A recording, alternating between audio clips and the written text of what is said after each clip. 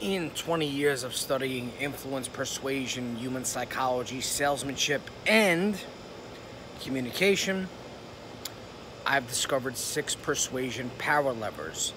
These power levers, if you understand just these six things, you can become ultra persuasive. You miss the mark on any of them, you won't be. So I shared the previous four with you. Here is number five. Number five is adaptability. Now I like to say adaptive ability, but I'm not really sure if that's a word. But in any case, we'll go with adaptability. And adaptability is your ability to adapt to the situation based on the feedback that you're getting from the other person. So, the communication cycle, right? It's a cycle, it's a feedback loop between you and somebody else or you and an audience. And what happens is that person has thoughts, beliefs, opinions that they convey to you verbally and non verbally. Then you receive them and then you communicate back with them, and the communication cycle continues until it ends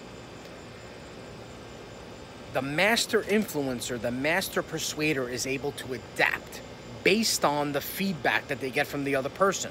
Now, here's the problem most people are not paying attention to the feedback, they're just thinking about what they want to think about. They're just waiting for their time to talk, they're waiting for their time to shine.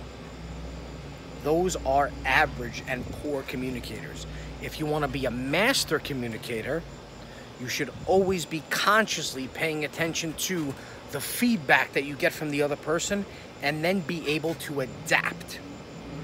So, for instance, if you sense that the person is giving you closed body language, that is a defense mechanism that tells you they're being resistant. So, you got to figure out a way to circumvent that. If the person is using barrier language, they're using words and terms that are resistant to your message, you got to figure out a way to circumvent that. Now, I could teach you how to circumvent it, but the first part, the part that most people miss, is they're not even paying attention to it because they're just thinking about what they want to say, the point that they want to convey. Right? So you got to be different. You got to be able to assess the situation and adapt. Use different body language, use different tonality, use different verbiage to get your point across. Now, I'll send you all six persuasion power levers in a free PDF. I put this together for you. All you got to do is click the link in my profile or in the description, depending on where this video is. I'm having a great Friday. I hope you are too. Trust me, take this shit, use it. I can promise you it will work to your advantage. Have a great day.